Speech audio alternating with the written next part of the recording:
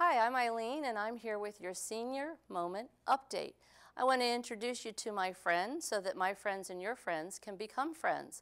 Do you know what you like to do to make your life better and the lives of others better? Volunteering is one of those options. April is National Volunteer Month and we are hoping to find something that you like to do. Do you have a passion and you want to show off your passion? Do you have a friend that needs another friend? You can find meaningful and resourceful experiences through volunteering.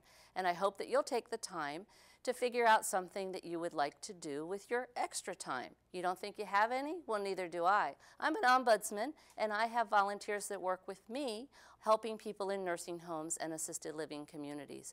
But you can find your passion in working with causes, with children, with activities and with projects. I hope you'll take the advantage of sharing your time and expertise and talents and call either the Volunteer Center or consider contacting the Ombudsman Program at 240-777-3369.